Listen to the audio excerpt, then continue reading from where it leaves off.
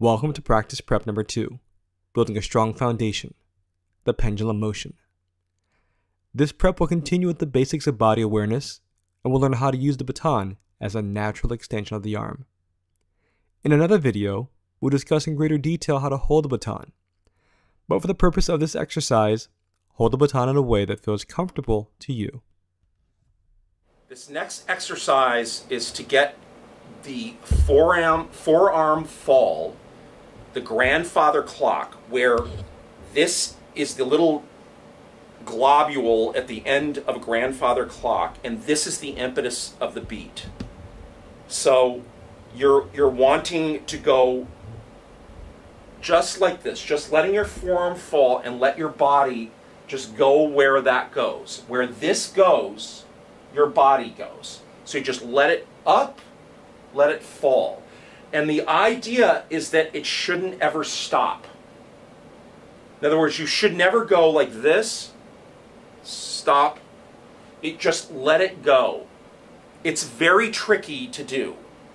But you do this for a few minutes a day, your body will start to understand what it is to move with a baton or without a baton. And then you gradually, as you get better at this, just move your forearm out into space. And then eventually you just use it to do the pattern, the four pattern or the three pattern or whatever the pattern is. Let's take a closer look and analyze these movements. Your forearm is falling like a pendulum of a clock. That's the way that you compel an orchestra to play on your beat. So, how do we practice this? Center yourself with your feet as described in the previous video. Put your arms up. This is just a simple example of how to do this. Put your forearm up and just let your forearm, forearm fall like this. And don't be afraid to once in a while let it fall and see the impetus that it makes you fall forward. Of course, you can't do that, but that's the impetus. The impetus is that it's like a pendulum that falls to the beat, to the center of the beat. Boom. Now let's try the forearm falling motion with David.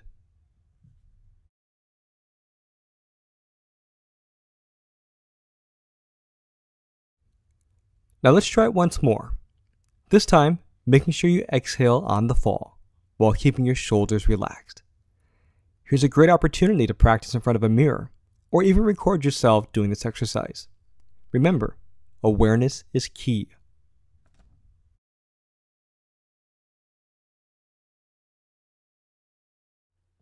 Now let's put it together with the pendulum motion.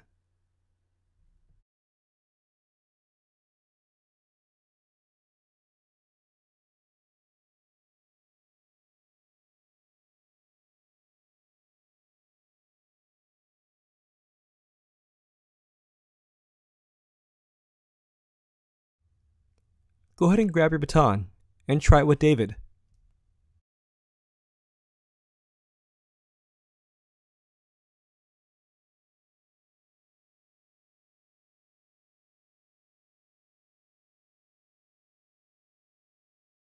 eventually as you get more advanced you will personalize this this will you will use it in your own way for the music etc etc but you need a default. Conducting is not a natural phenomenon. It's not a natural thing to do. Much of what you think you should do and think that you are doing you're not doing. And you can look at yourself in video and all that and it's great and you'll learn stuff. But what it really is is this feeling. And my right hand on this baton is completely relaxed. And I'm the least relaxed person in the world. But I spent years and years practicing on and off this stuff. And eventually it teaches your body how to move. And then your brain, with the music, makes your body move in a good way rather than in a way that's antithetical to what you're trying to do. To review, start with the default position and let the forearm fall in a constant pendulum like motion. Make sure to lead with the tip of the baton We want this to be natural movement, and it's going to take practice. So try this exercise for at least five minutes each day. It'll help build and control your spatial awareness. For more practice preps and learn how to apply, visit www.lafci.org.